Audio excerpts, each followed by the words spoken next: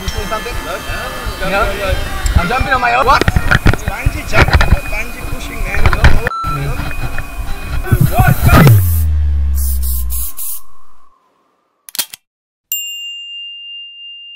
Alright, welcome back to Magic Isn't Real, the place where I try to replicate the claims of the supernatural with my very natural skills. Today, today, oh, today, one more time. Today, it's a good one because today I'm going to show you the most epic card trick I have ever done in my life. And the reason for it is because I want to talk to you about presentation or at least what we as magician call as presentation, which is key to make your magic trick the most convincing, the most compelling and the most entertaining. And the reason why I want to talk about it here on this channel is because since I watched the documentary Superhuman, I, I did a video a couple weeks ago. I put the link down below. You should definitely go check out my review of this documentary. Uh, so this is a documentary made by uh, Caroline Cory, which apparently gives you evidence of the supernatural. And a lot of people have watched this documentary and told me like, yeah, those are good evidence. They are not. But there's one thing that kept on bugging me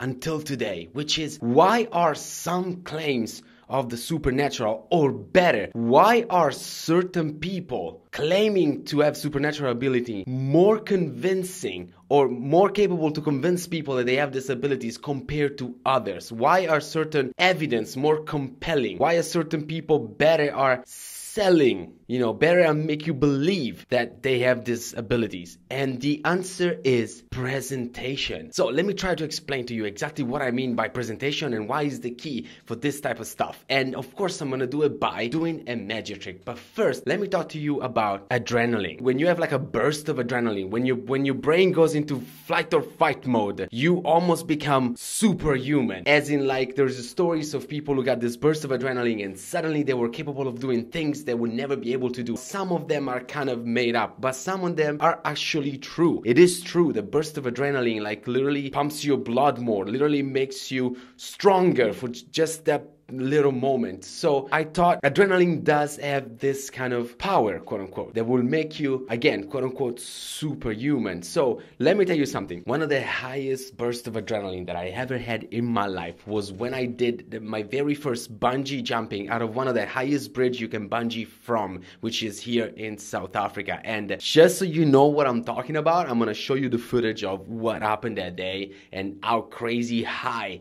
this bridge is. Tequila shot. I'm so scared.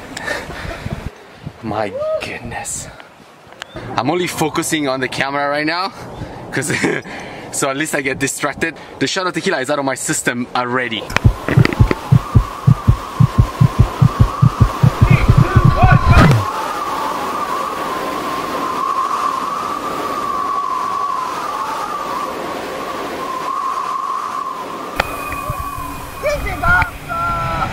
I'm not even joking. After I did that, I was so excited. I, I had so much adrenaline that I went in withdrawal the next day. I was literally sick. That's how excited I got. And then I thought, man, if it's true that adrenaline can give you this like, you know, fight or fight mode can get you like like stronger, you know, that adrenaline almost gives you superpower. I thought, why not do an experiment? I know that doing that bungee jumping means that I'm gonna get a burst of adrenaline that's gonna just make me not just stronger, but just like better. Like it's not just your muscle get stronger, but your brain also. So I thought, why not just do an experiment? Why not go and do the bungee jumping again, knowing that adrenaline is gonna just spike in my body and see if that adrenaline can make my brain so strong that I could do the most epic card trick ever made by trying to guess which card you are thinking of at home right now. So let's just give it a shot.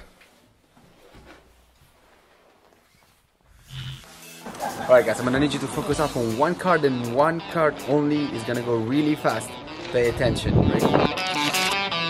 Alright, you have one card and one card only in your mind and I'm gonna try to figure out which one it is. But I need some adrenaline going. I need, I need, yes. I cannot do it right here. I need something that's to click in my brain. I need to scare myself. So let's go.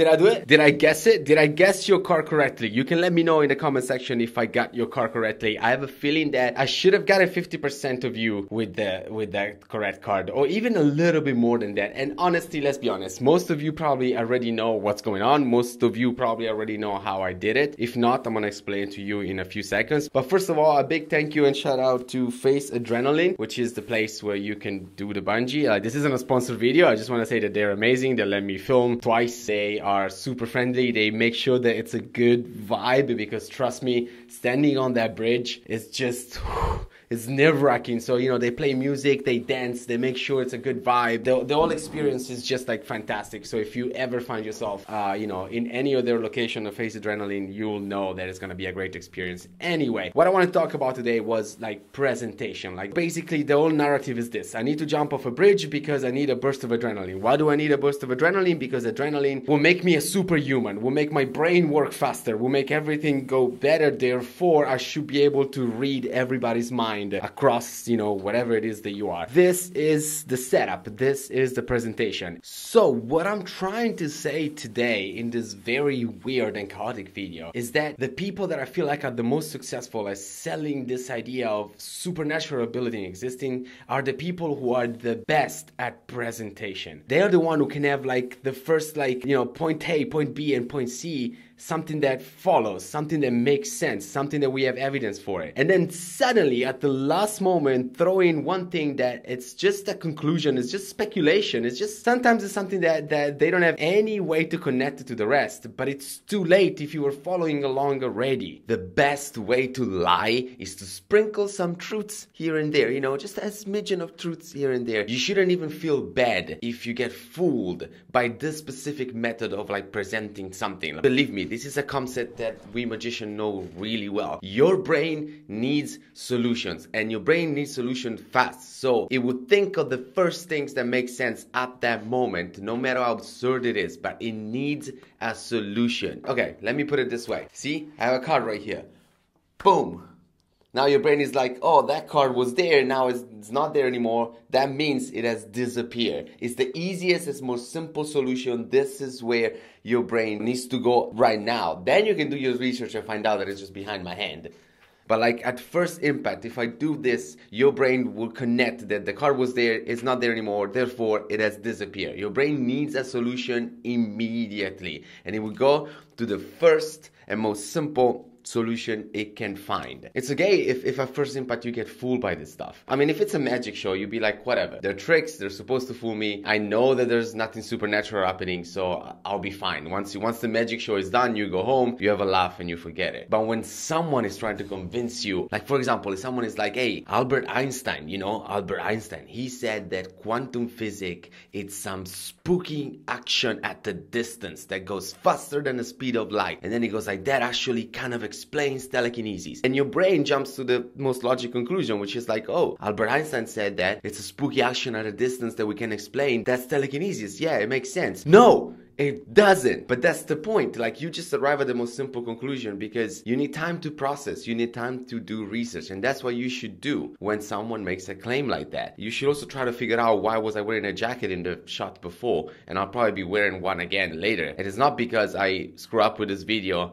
and I just realized now that I'm refilming something while not wearing a jacket, but it's because it's spooky action at a distance, you know, quantum physics. And by the way, Einstein was wrong about quantum physics. Yes, that's also a fact. And even if he was right, even if this is a spooky action at a distance, we still have no evidence whatsoever that our consciousness or our brain have any effect on the result on a, of a quantum experiment. So yeah, it does not explain telekinesis. Take my trick, for example. It has nothing to do with adrenaline whatsoever. And I could do the same thing without jumping off a bridge. I just wanted to create this kind of narrative because I thought it would be entertaining to watch. Because in reality, all I did wasn't mind reading, it wasn't adrenaline spike superpower, it was what is called a card force. And it's it's a force like i'm not even i'm not even like worried that if i reveal the secret i'm gonna get in trouble because it's a, you can find a tutorial for this force it, like everywhere. This card force is so overused that it is actually in the beginning of the movie now you see me. I can tell you really quickly how it works. Basically when i riffle my cards i hold one second longer or maybe even less than one second longer on the card that I want to force you, which means that that's most likely the only card that you will be able to see when I riffle really fast. And if you want to know exactly how to develop this technique, if my fingers are very trained, I could tell you yes, that I spent 20 years to train my fingers to be so precise that I know exactly which card I want to stop for just like one second. And again, presentation is the key because I just lied to you. Here's how it works. You need to pick the card that you want to force, the seven of clubs, right? And then all you gotta do is that the card before the seven of clubs needs to be a little bit shorter. Now, I don't want to cut this because it's a deck that I like and I don't want to ruin it. But like, let me show you. So let's say I want to force the seven of clubs, right? All I need to do is that the card before the eight of clubs, I'm just going to position it like that. So it's slightly, almost as if I cut it. All right, I don't know if you can see it from there, but like basically, if you have a card that's slightly shorter than the other ones, you create a gap, which means that if I scroll now, it's very easy for me to stop exactly at the card that I want you to see and then continue riffle. See, look at this. It's like I don't have I don't have to train my finger for train years. I just have to like I just have to practice a few times so it's not too obvious, you know, like because if you go like it's a bit too obvious. So you just have to practice like hold it. Just enough so that it's the only card that registers on people's brain. See, there isn't anything supernatural happening. There isn't any special training that I've done with my finger. It's just simple mechanics with 52 pieces of cards. Mind reading is something that I like to do a lot. I mean, I like magicians. Any magicians has at least one mind reading trick. If you're a mentalist, is your entire act. And mind reading is something that most people enjoy. So much so that the other night I was at a comedy club and uh, I decided out of nowhere that I wanted to do a little bit of mind reading because why not? Not. And this is kind of what happened. Watch. Do, do me a favor, Rashid. Take off the jokers, because there'll be no jokers tonight.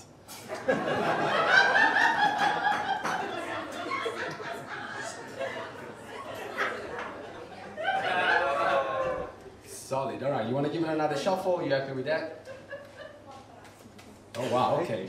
Ne- definitely not gonna play poker with you ever. All right. Let's do this. You can give it back to me. That's fine. You, you're happy that it's shuffle and everything and it was actually a good shuffle. Um, let's try this. Uh, put, put your arm out like this, hold this mic, and now you're a mic stand. I'll tell you what. Alright, so you shuffle it. You're happy with the shuffle, okay? I'm gonna give it another shuffle, but I want you to say stop whenever you want. Stop. There, okay. Look at this, memorize it, keep, it in your brain, don't forget it, just keep it in your brain. Now what I need you to do is that I need you to keep repeating it over and over and over, just keep repeating the numbers over and over and over and over and over. Okay, you know, there's only 52 cards in a deck. Why? Why? 69, 69, why? Just, no. none of that, none of that. Get, get your head out. Just keep repeating ace of clubs, ace of clubs, ace of clubs, ace of clubs, ace of clubs. Was there ace of clubs? Well done.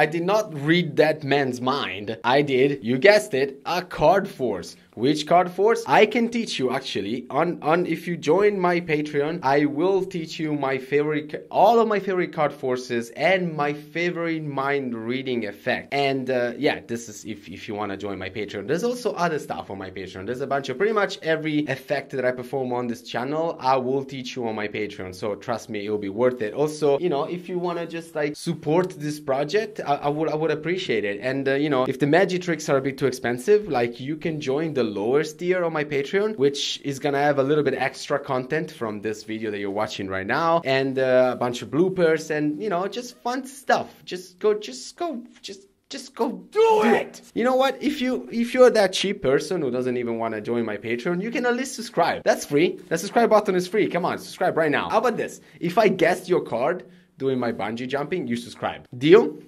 Deal? Come on. Come on. How about this? If I even if I didn't guess you subscribe to the channel.